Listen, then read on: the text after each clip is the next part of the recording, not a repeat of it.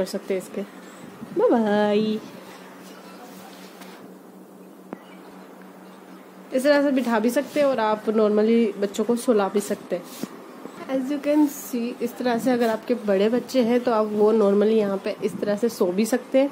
मानो ऐसे रखो तो दिखाओ, रख के दिखाओ ऐसे। ऐसे देखें।